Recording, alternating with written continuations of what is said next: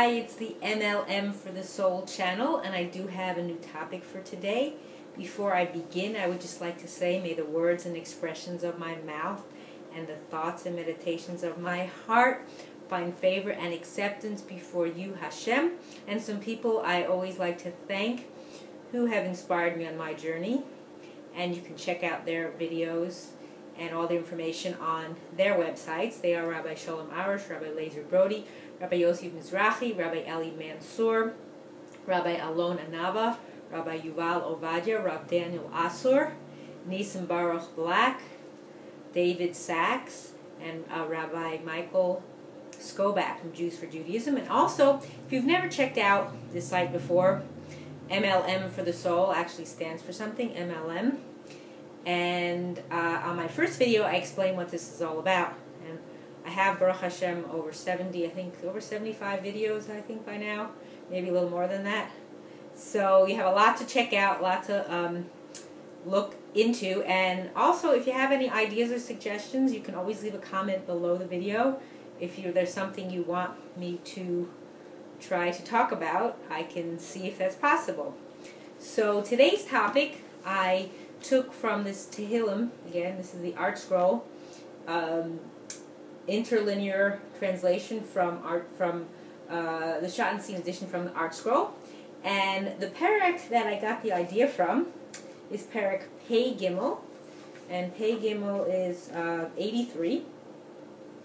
So the topic is called independent or dependent. Which one is it? So um, the introduction to this, they always have a heading, says, the historical enmity of the nations against Israel is an outgrowth of hatred for what which Israel represents, the complete subordination of all human striving to Hashem's will. So uh, what it talks about is that the nations want to try to obliterate the Jews, and then one pasuk it says here, um, I'm just going to read pasuk Hey, says Amru lechu migoy shem Yisrael. Come, let us obliterate them from nationhood, so that not remembered will be the name of Israel any longer. So underneath, according to Rav Hirsch, he says that what does this mean? Let us obliterate them. Jewish nationhood is predicated upon reliance on Hashem rather than reliance upon political, economic, and military dictates. The nations wish to destroy this nationhood because it contradicts their basic premise of the supremacy of human power and independence. So, again, is it dependent or independent? Which one? It depends, really. Uh, I agree here, of course, yes. Um, we rely on Hashem for everything. We are dependent on Hashem. Hashem takes care of us. We wouldn't be here without Him. So there's that dependence and that gratitude. We have to be thankful. Like, without him, we wouldn't exist. Even though a lot of the other nations want to be independent, it's all about me and my might and my glory and my fame and everything. But in the end, everyone returns back to the earth. So uh, you go back to where you came from.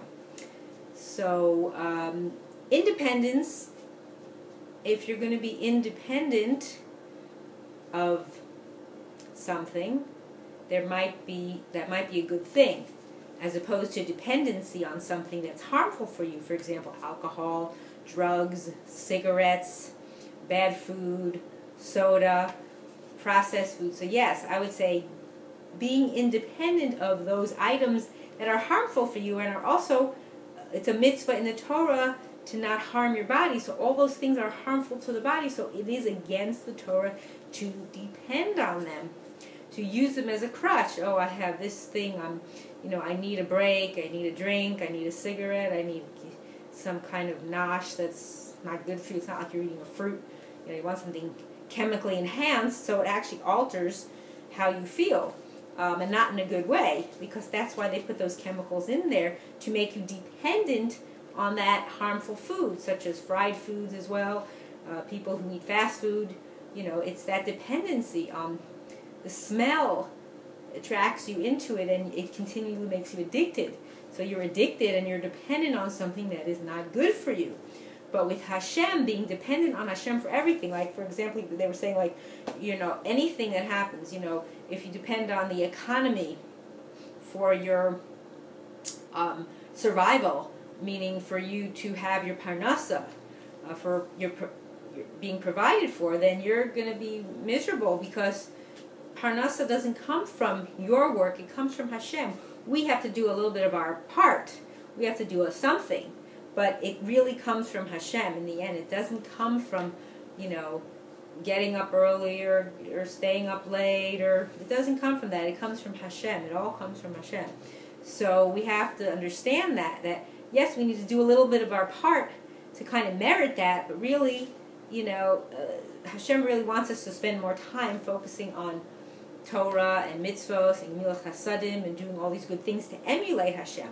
So we need to realize that also same thing with protection, same thing with um, like military protection. If all the people would come together, have Yiras Hashem, Avas Hashem, Avas, the nation have you know amongst each other, then you wouldn't need all that. In the Tehillim, Hashem says it. If you will, if you will just turn to me, I can just wipe out your enemies in a blink of an eye. Before I blink my eye, they'd be gone. You wouldn't even really realize that they disappeared. It would be so fast. You'd be like, "What happened?" You know, it'll be like a bad dream.